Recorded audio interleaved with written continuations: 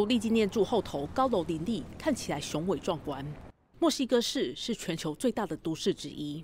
数百年前，阿兹特克人从湖中建立起这座水上奇迹，如今却因为过度抽水、管道泄漏，迅速下沉。The most important impact of climate change is related to water, and that's the same case in many other cities where there is an overexploitation of the aquifers. 每秒平均流失了一千公升的宝贵水源。独立纪念柱一旁的改革大道，不过十年时间下沉了三公尺。气候变迁加速，又让状况更加糟糕。In some places, we have an increase in rainfall, and in other places, we have a decrease in rainfall. These changes break the balance. 墨西哥市正经历数十年来最严重干旱，即使下雨，往往水还没流下来，灾情、基础设施破坏先一步报道。此外，降雨两级，温度上升，也导致水库蓄水品质明显下降。专家警告，再不拿出更好的资源管理，到了二零五零年。